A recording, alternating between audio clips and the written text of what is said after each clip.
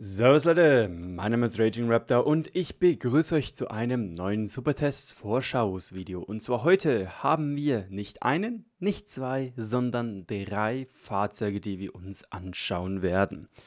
Und das sind die drei neuen Pole Medium. Einerseits der DS äh, oben, der Boogie Tank unten und den CS44. Da dieses Video einen Ticken länger gehen wird, weil wir drei Fahrzeuge auf einmal anschauen werden, eben schauen wir uns zuerst mal den Tier 5er an, dann den Boogie und zu guter Letzt den CS44.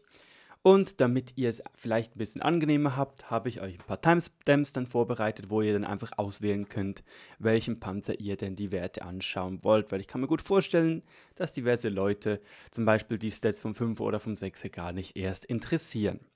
Aber gut, dann fangen wir mit dem DS Pezins an oder ich weiß nicht, wie ich das aussprechen soll, wenn ich ehrlich sein muss. Es ist ein Stufe 5er Medium, der eigentlich damit brilliert, dass er einen guten Alpha hat und eine sehr, sehr, sehr, sehr gute Pen. 135 auf der Standardmunition und 175 auf der Premium. Und so sieht es dann aus im Vergleich mit dem 25 TP, dem anderen Stufe 5er Polen-Medium, den T34 und P43. Wargaming hat selber gesagt, dass der T43, äh, T34 eigentlich der Panzer ist, welcher dieser DS oder allgemein diese neue untere Linie vergleichen sollte oder gleich ist. Wie schon gesagt, die Pen und der Alpha ist sehr angenehm. Ihr könnt sehen, es ist genau die gleiche Kanone wie der 25 TP. Heißt also, wenn ihr schon den 60 TP erforscht habt, könnt ihr somit schon ohne Probleme die Top-Kanone auf dem 5er einbauen. Großes Problem jedoch ist 5,8 Sekunden Nachladezeit, im Gegensatz zu 5 ergibt euch ein DPM von nicht mal 1400, während der 25 TP schon 1620 hat und der P43 auch. Der D34 hier habe ich einen kleinen Fehler gemacht, weil ich das nicht ändern konnte und habe leider die schlechtere Kanone, die Kanone, die halt mehr Pen und mehr Alpha hat, aber nicht guten DPM genommen. Der DPM allgemein 1400 ist nicht so nice, wenn man es eben mit dem momentanen Polmedium vergleicht, aber ist jetzt auch nicht gerade super schlimm. Genauigkeit während der Fahrt ist 0,25, das ist Copy-Paste von 25 TP und Turmgenauigkeit ist 0,12 und das ist sogar ein Ticken besser und macht es eigentlich somit mehr oder weniger die beste Genauigkeit während der Fahrt für diese drei oder diese vier Fahrzeuge. Genauigkeit allgemein 0,39 ist nicht schlecht und ich muss sagen, versus 0,38 macht keinen großen Unterschied. Einzelzeit von 2,1 ist das Beste von den hier, von dieser kleinen Gruppe und mit dem kann man sehr, sehr gut arbeiten. Allgemein habe ich das Gefühl, dass der DS hier extrem viel ähm, eigentlich dahergibt, damit er eine snappige Kanone hat. Eben eine schnelle Einzielzeit, eine mehr oder weniger gute Genauigkeit während der Turmdrehung für sein Tier.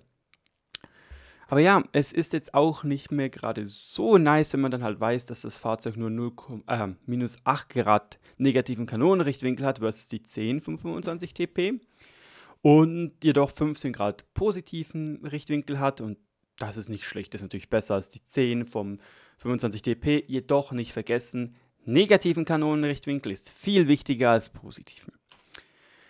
Zur Mobilität und hier sieht es nicht so schlecht aus. 56 km/h Topgeschwindigkeit, 15 km/h Rückwärtsgeschwindigkeit ist nicht schlecht, ist aber auch nicht das Beste. Ihr könnt sehen, im Rückwärtsgang, ja, ist er definitiv der schlechteste aus. Man merkt, es ist ein Polenfahrzeug und nicht ein französisches Fahrzeug.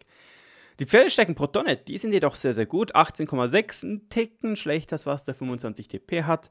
Und somit ist auch da die Mobilität ein Ticken schlechter als was der andere Polen-Medium zu bieten hat.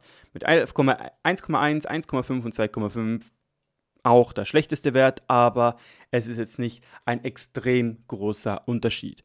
39 Grad pro Sekunde Wanddrehgeschwindigkeit ist völlig noch im Rahmen, ist aber auch der schlechteste Wert.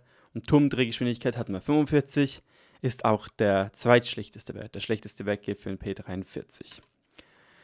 Zu guter Letzt die Überlebensfähigkeiten. 590 HP, ihr könnt sehen, zwei haben auch so viel.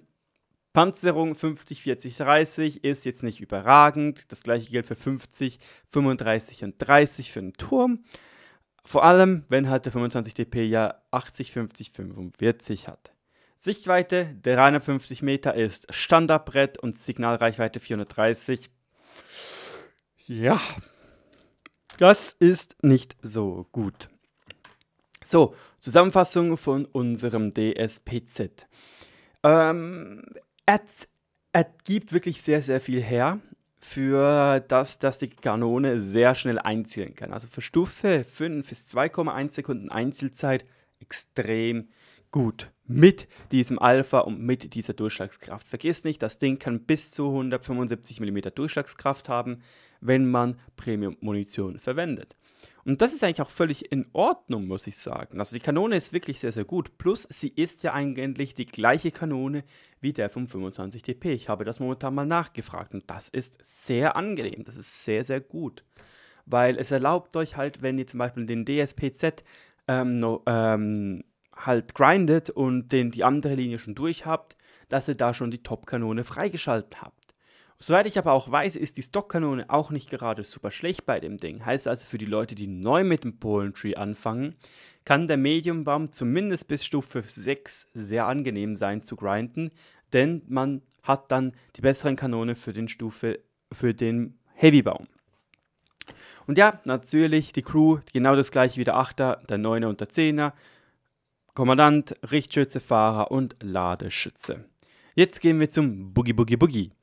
Und das hier ist auch wieder so ein bisschen ein Oddball. 240 Alpha Medium ist somit eigentlich auf der Höhe wie der 40 dp, der ja auch 240 hat.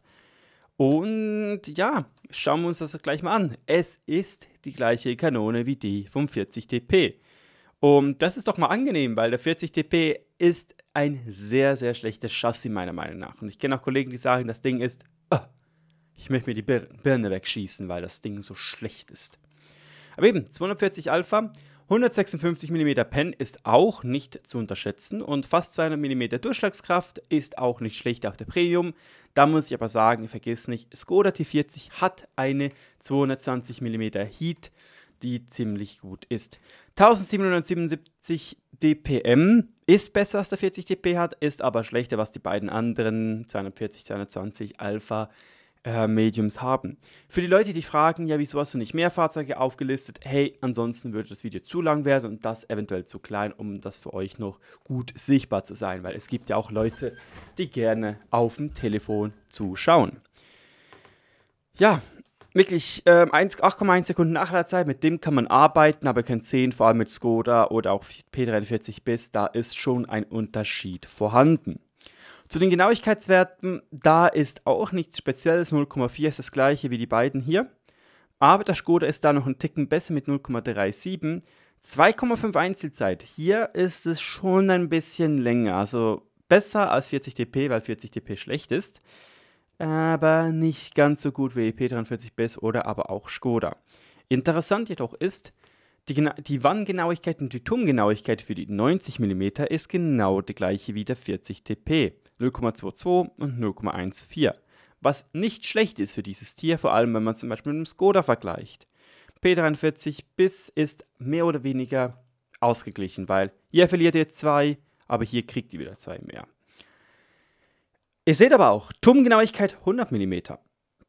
Leider haben wir die Statistiken für diese Kanone noch nicht, aber der Boogie-Panzer wird eine 100 mm Kanone haben, die eine kurze, wie soll man sagen, einen kurzen Lauf haben wird und anscheinend die starke, also ich zitiere jetzt Wargaming, eine starke HE und AP haben wird.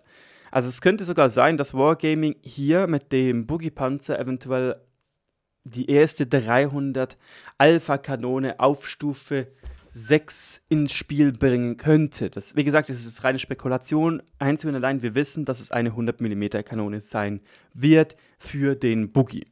Interessant, ob es wirklich was Gutes ist, äh.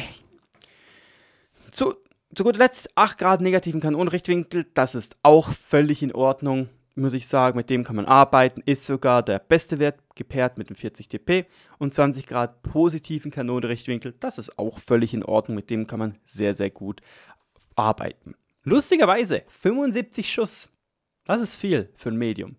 Vor allem, das sind 90 mm Kugeln, die sind nicht gerade klein. Keine Ahnung, was Wargaming sich da gedacht hat. Noch gut, der letzte, die 35 Grad pro Sekunde, hier im Vergleich könnt ihr sehen, ist nicht schlecht, aber auch nicht gerade cool. Zur Mobilität, und die ist mal gar nicht mal so schlecht. 55 km/h Topgeschwindigkeit, mit dem kann man leben, ist der beste von den dreien hier. 11 km/h Rückwärtsgeschwindigkeit. Yikes. Das ist schlecht. Das ist wirklich schlecht für einen mittleren Panzer.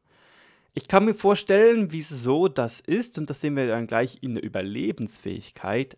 Aber 11 km/h, uff, das ist ein big-sized Uff.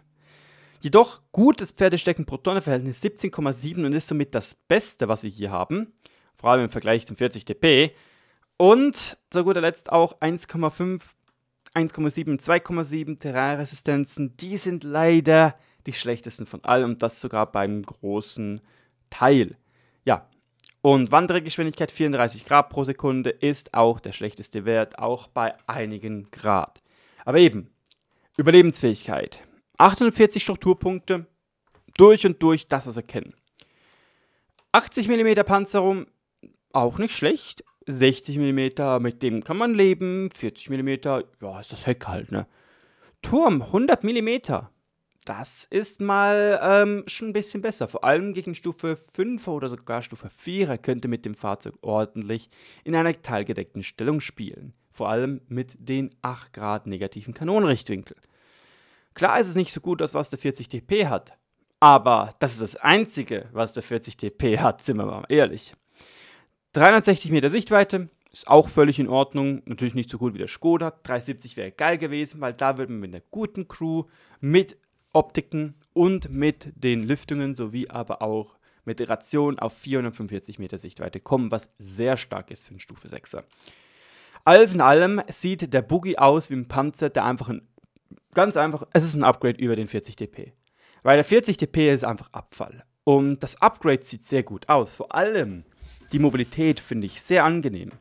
Und es kommt natürlich noch darauf an, wie ist denn ganz genau die Panzerung. Ihr könnt sehen, die Wanne ist ordentlich da gekrümmt oder angewinkelt und der Turm ist auch ein bisschen abgerundet. Könnte also heißen, vor allem gegen Low-Tier-Fahrzeuge könnt ihr einen ordentlichen Bouncer mal kassieren. Und eben 8 Grad negativ Kanonenrechtwinkel, das ist super angenehm, um damit zu, zu spielen.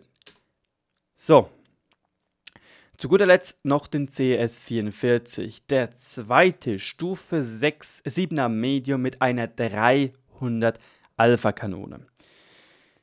Ja, schauen wir uns das doch gleich mal an. Im Vergleich haben wir den 45 TP. Ich weiß, es ist ein Heavy, aber es ist halt der 7er Polen, den ich gerne als Vergleich nehmen wollte. Den T43, weil ja Wargame gesagt hat, es sei ja gleich oder in die Nähe dieser Panzerlinie. Und den Leo, den ersten Panzer mit eine 300 Alpha Kanone. Und ja, ihr könnt sehen, 300 Alpha, 168 mm Standard-Pen ist sehr gut im Vergleich zum Leo mit 155 und ihr habt eine Heat, die 220 mm Durchschlagskraft hat. Das ist für Stufe 7 immer noch vollkommen vorhanden und vollkommen okay. 12 Sekunden Nachladezeit, das ist jedoch sehr, sehr lange. Und ihr könnt sehen, ich habe nur ein Base DPM von 1500 im Vergleich zum Leo sein 1600 oder sogar den 2000 des T43. Jedoch möchte ich gerne anmerken, auch wenn es etwa eine Minute dauern wird, Base DPM mäßig, einen Stufe 8er Heavy zu zerstören, darf man nicht vergessen, 300 Alpha. Das schmerzt auch bei Stufe 9er Fahrzeugen, vor allem auch bei Stufe 9er Mediums. Also wenn ihr diesen Panzer wirklich gut spielt, könnt ihr ordentlich Chaos verursachen mit dieser hohen Alpha. Genauigkeitswerte sind auch noch ziemlich interessant. Wanngenauigkeit ist 0,2, das ist völlig in Ordnung, ist besser, was 45 TP und T43 hat, ticken schlecht das, was der Leo hat. Turmgenauigkeit von 0,12 ist auch nicht schlecht, das ist sogar gleich wie was der Leo hat und besser, was die beiden anderen haben. Dazu kommt, Leo hat 3 Sekunden Einzelzeit, der CS44 hat 2,1. Das ist enorm gut und jetzt verstehe ich auch, wieso Wargaming sich höchstwahrscheinlich dafür entschieden hat, dem Panzer nur 1500 Base DPM zu geben, weil eine Kanone, die so schnell einzielen kann, die dann 300 Alpha verteilen kann, das ist sehr stark.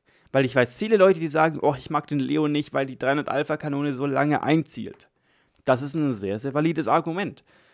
Und hier kommt der CS44 an mit so einer besseren Einzelzeit. Also die ist wirklich stark. Dazu kommt, dass er noch genauer ist als der Leo mit 0,4. Und mit dem kann man sogar arbeiten, wenn es eine 300 Alpha-Kanone ist. Jedoch 6 Grad negativen Kanonenrichtwinkel, das ist das schlechteste von den dreien hier. Ist auch nicht so ein guter Wert, mit dem muss man sich gewöhnen, wenn man vorhin ja schon 8 Grad hatte und dann auf Stufe 8 dann wieder 8 Grad hat. Außer der Premium, der ja auch 6 Grad negativen Kanonenrichtwinkel hat. Positiv 15, das ist in Ordnung, das ist nicht ein schlechter Wert, mit dem kann man leben. Zu guter Letzt Turmdrehung 42 Grad, ist in Ordnung, wenn man es hier kurz vergleicht. Könnt sehen, es ist besser, was der Leo hat, besser, als der 45 TP hat, aber nicht so gut wie der T43. Mobilität, völlig in Ordnung. 50 km/h Topgeschwindigkeit, ist nicht so schnell wie der Leo, da ist er der König. 17 km/h Rückwärtsgeschwindigkeit ist auch in Ordnung, mit dem kann man sehr gut leben. 18,3 Pferdestärken pro Tonne, zweitbester Wert von den dreien, äh, von den vieren hier. Nur der Leo ist besser. Und wie gesagt, der Leo ist ja dafür bekannt, dass er Speedy Gonzales ist.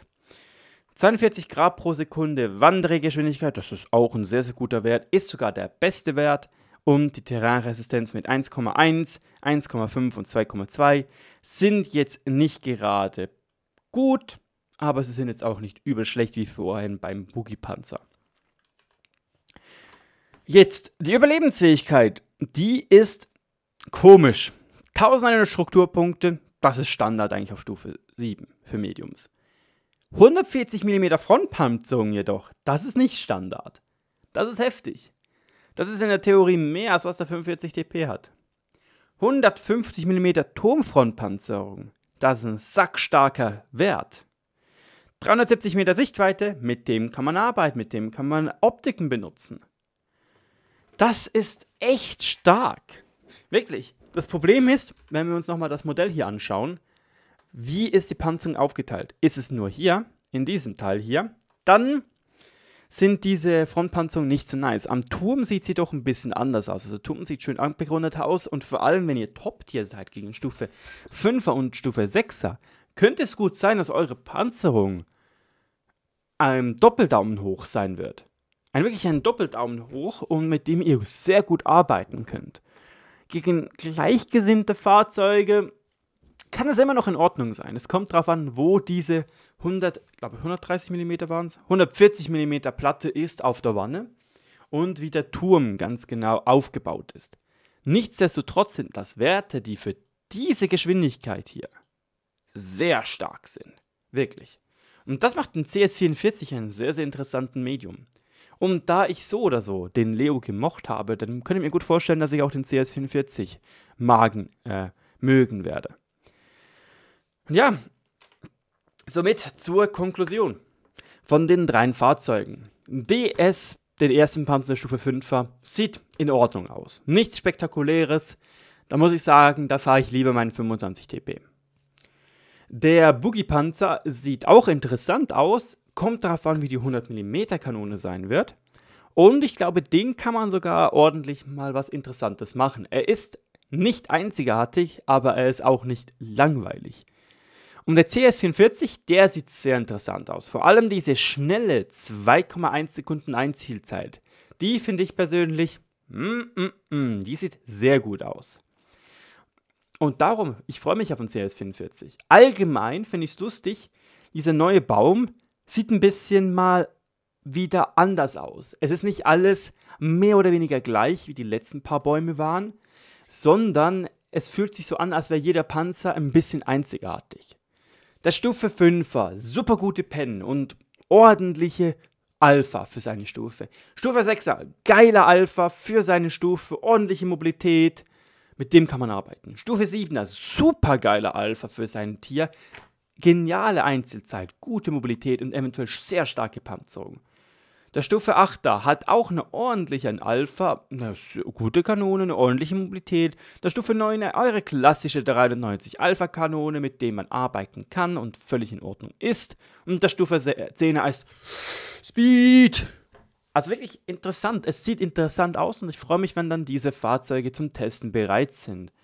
Und ich muss auch sagen, ich kann mir gut vorstellen, da diese Fahrzeuge jetzt schon ihr Schadensmodell, oh, Entschuldigung, ihr Modell gekriegt haben, ich habe sie gesehen in den Bildern, kann ich mir gut vorstellen, dass es gar nicht mehr so lange geht, bis dieser Baum rauskommt. Also ich schätze mal, Mitte Juli kommt der Testserver und Ende Juli spätestens könnte das Update kommen. Jetzt ist die Frage, wird dieses Update dann zusammen mit den Änderungen am EBR, am Progetto, am 430 U, am E100, am IS4, am E5 kommen oder nicht? Oder wird es ein einzigartiges Update sein? Das ist etwas, das könnt ihr auch mal in den Kommentaren spekulieren. Lasst mich wissen, was ihr von den Fahrzeugen findet und natürlich gebt mir noch, noch ein bisschen Feedback, wenn ihr irgendwelches habt. Ich weiß, das ist die traditionelle letzte Teil unseres Videos und ich muss sagen, in dem heutigen Video bin ich sehr mit zufrieden. Ich finde, dass ich dieses Mal, und ich weiß, Eigenlob stinkt extrem, ich finde, es kam, für mich persönlich kam es sehr gut rüber. Ich habe eine kleine Änderung gemacht, wie ich die Stats-Sheets der ähm, Vergleichspanzer benutzt habe. Lasst es mich wissen, ob ihr es gesehen habt, was es war. Für mich persönlich sieht es aber viel professioneller und viel angenehmer aus. Und ja, wenn ihr neu beim Kanal seid, vergesst nicht zu abonnieren, weil, hey, wenn ihr es schon so lange gemacht, ge nicht gemacht habt, aber ausgehalten habt mit mir, dann ist es doch ein Abo wert, denn ich probiere weiterhin euch immer auf dem neuesten Stand zu halten, wenn es um World of Tanks Sachen geht. Mein Name ist Raging Raptor, danke euch fürs Zuschauen, viel Glück auf dem Schlachtfeld und mir noch viel Glück bei den letzten Prüfungen. By the way, es könnte jedoch sein, dass nächste Woche, wenn was Neues rauskommt, ihr leider erst verspätet ein Video dazu gekriegt, weil Prüfungen sind wichtiger als Videos. Danke vielmals, Leute. Bitte verschmelzt nicht bei dieser Hitze und man sieht sich.